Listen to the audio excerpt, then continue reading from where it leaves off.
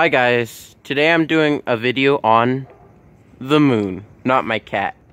Although I like my cat, but today I'm going to be talking about what would life be like on Earth if we didn't have the moon.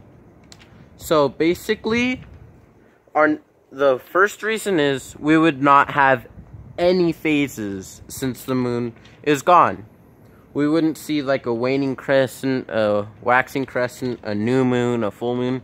Not that we see a new moon anyways, but still.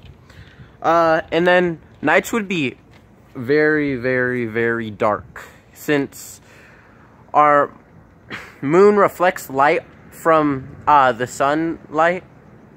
That sounded weird, but yeah, the moon reflects light off uh, from the sun, and it brings it bounces it to Earth, which causes us to have lighter nights. Sounds weird.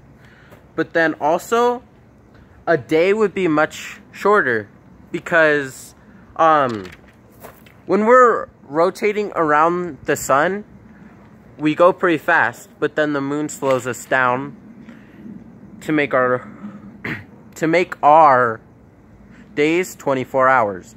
But without that moon to slow us down or to halt us, our days would be 6 to 12 hours.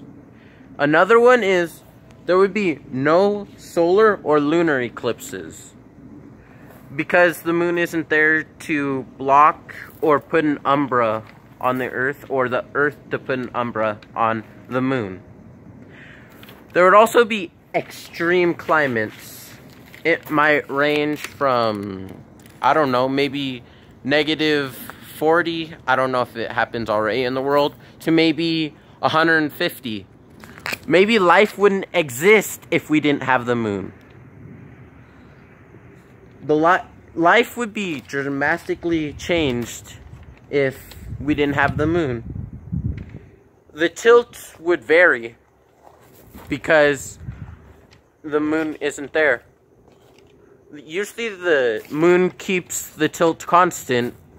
So, which, um, which, if, like, if the tilt changed, it would affect our seasons and may, uh, make the seasons fluctuate.